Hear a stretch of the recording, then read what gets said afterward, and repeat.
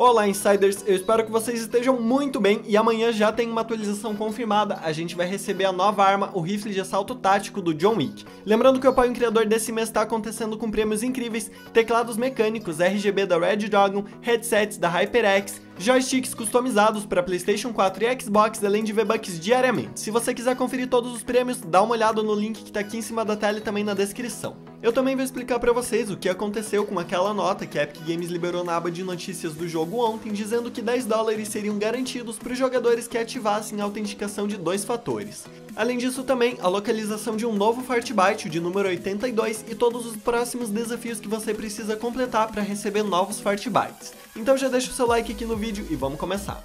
Bom, então como vocês sabem, uma nova atualização está chegando, e no próprio lobby do jogo já tem uma nota informando que a atualização 9.01 chega amanhã, quarta-feira, às 5 da manhã pelo horário de Brasília.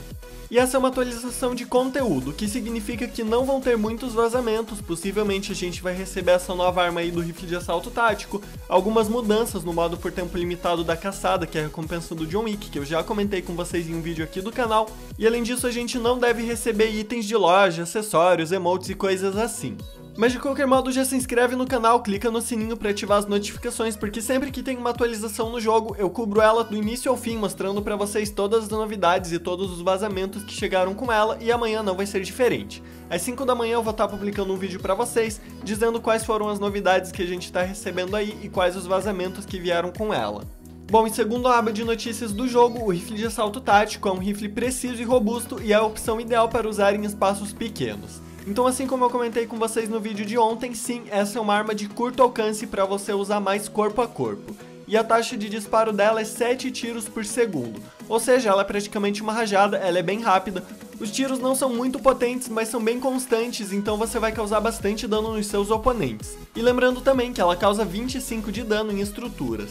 Bom, e assim como todos os dias, hoje mais um Fortbyte está disponível no mapa do jogo. Ele é o Fortbyte de número 82 e ele fica exatamente nessa posição aqui do mapa, no local D1.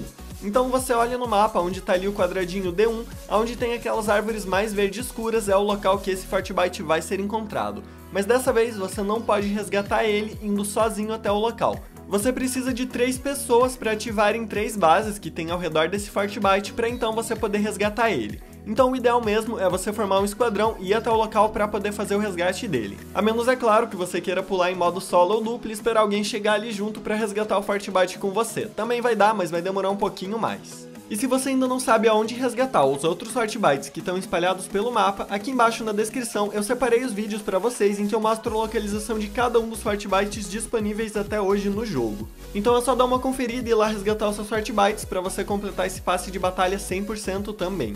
Bom, e falando nos Fortbytes, como vocês já sabem, eles são desbloqueados a partir de vários desafios, incluindo quantidades de XP que você consegue e também de desafios do passe de batalha que você completa.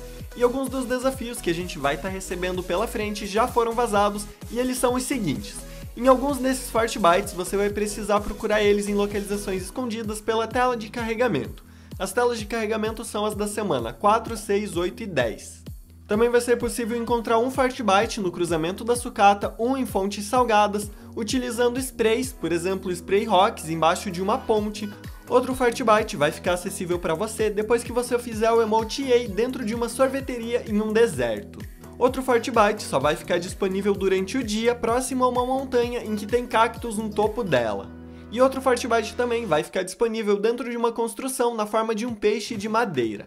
E mesmo que a gente saiba a localização exata da maior parte desses Fortbytes, eles ainda não estão disponíveis e mesmo que você faça os requisitos de usar os sprays, os emotes e coisas assim, você não vai ter acesso a ele. Então só resta a gente esperar, quando ele for desbloqueado eu vou anunciar aqui para vocês em vídeo, mostrando para vocês onde vocês encontram e como vocês desbloqueiam eles. Lembrando que os Swart Bytes são 100 no total e todos juntos formam uma imagem. Essa imagem possivelmente tem relação com o que aconteceu no evento do avanço do tempo, ou possivelmente uma pista para a próxima temporada e a maior parte deles é desbloqueado através de XP que você ganha durante a temporada e também de completar desafios do passe de batalha. Então eles são bem simples, não tem por que você não resgatar, mesmo porque é até divertido você caçar Fartbytes pelo mapa.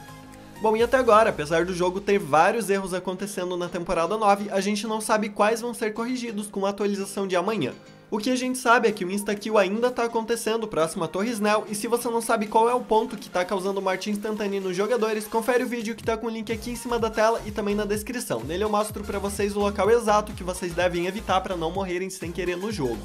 Outro erro também que vem acontecendo é com relação aos estilos para os desafios do Coração Negro e do Híbrido. Várias pessoas, mesmo sem ter completado os desafios, não estão vendo eles para poder finalizar. A Epic Games já avisou que seria corrigido, mas ainda não aconteceu nada a respeito.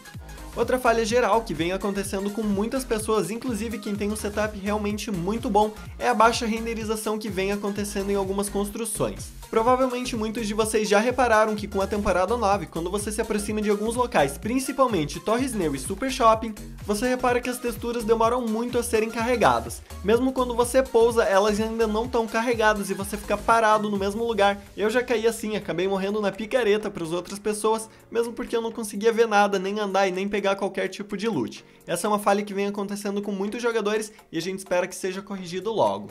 E um glitch para quem joga no console está acontecendo com o Baller quando você está próximo à base dos vilões. Esse glitch faz com que você simplesmente entre embaixo do mapa e não consiga mais subir. Bom, e por fim, o que mais tem incomodado os jogadores, além da renderização baixa, é a barra de escudo e de saúde, que tem um contador vermelho quando você leva um tiro, dando a impressão que você está levando muito mais dano do que você na verdade está levando. E a respeito dessa falha, a Epic Games já comentou que vai ser sim corrigida, possivelmente na atualização 9.1, junto com o botão desfazer compras. A gente não sabe se vai vir na mesma atualização, mas muito em breve a gente deve estar tá recebendo pelo menos essas duas melhorias. Bom, e agora para finalizar esse vídeo, eu vou explicar para vocês o que aconteceu com aquela informação que a Epic Games liberou na aba de notícias do jogo na noite de ontem, dizendo que os jogadores que ativassem a autenticação de dois fatores receberiam 10 dólares para serem gastos na loja da Epic Games. Bom, para começar, primeiro que exatamente como a mensagem diz, você receberia 10 dólares se você ativasse a autenticação de dois fatores para serem gastos na loja da Epic Games, não na loja de itens do jogo do Fortnite. Ou seja, a princípio isso não poderia ser gasto dentro da loja de itens, o que significa que você não compraria mil V-Bucks com esses 10 dólares.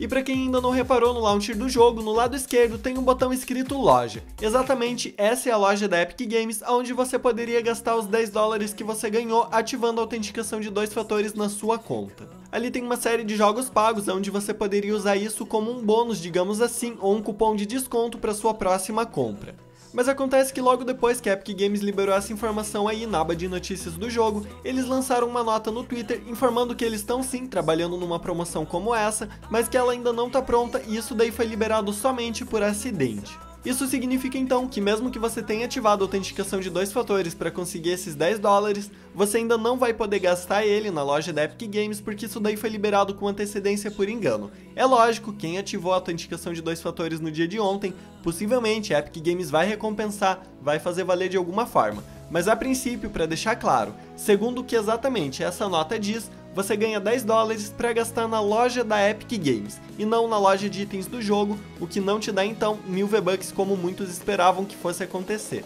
Então, resumindo, essa foi uma informação liberada por engano pela Epic Games, ela ainda não tá valendo, mesmo que seja real, e mesmo que você queira os 10 dólares para gastar na loja da Epic Games, você vai ter que esperar um pouquinho até essa promoção ser validada, porque pelo que parece isso ainda não aconteceu. E se você não sabe como ativar a autenticação de dois fatores, confere o link que tá aqui embaixo na descrição, é bem simples você fazer isso. Basta você entrar na aba da Epic Games, fazer o login na sua conta, no canto da tela você passa o mouse em cima do seu nome de usuário, você vai ver uma opção de configurações da conta, você seleciona Password segurança, e depois você seleciona ativar a autenticação de dois fatores. O processo é bem simples, não leva mais do que 5 minutos para você ativar e além de tudo é muito mais segurança que você tem para sua conta, afinal isso aí impede que ela seja hackeada. Bom, mas assim como eu comentei com vocês, essa nota foi liberada por acidente pela Epic Games, apesar de ser uma informação real. Então, se você tem interesse em ativar a autenticação de dois fatores para conseguir os 10 dólares para serem gastos na loja da Epic Games, eu sugiro que você espere a Epic Games lançar novamente essa informação, para então sim você ativar sua autenticação de dois fatores e conseguir esses 10 dólares. É lógico, quem ativou no dia de ontem, possivelmente a Epic Games vai sim contar como uma ativação dentro do prazo ou vai dar um jeito de recompensar esses jogadores. Bom, então se você gostou desse vídeo, não esquece de deixar o seu like aqui, se inscrever no canal e ativar as notificações. Lembrando que o apoio criador tá acontecendo, você pode usar o meu código na loja de itens do jogo, Insider Oficial. Você não gasta absolutamente nada para me apoiar, basta você colocar meu código lá na loja de itens do jogo. E se você for fazer qualquer compra, você pode gravar o momento da sua compra e publicar esse vídeo em uma rede social, Facebook, Twitter ou Instagram usando a hashtag ApoieOInsider. Assim você participa de premiações diárias que eu já anunciei no vídeo de ontem. Nesse mês, os prêmios do Apoio Insider são teclados mecânicos da Red Dragon RGB, joysticks customizados para PlayStation 4 e Xbox, headsets da HyperX, além de V-Bucks diariamente para vocês. Ou seja, você não tem nada a perder e só a ganhar. Então eu espero que vocês tenham gostado desse vídeo, muito obrigado por assistir e até a próxima!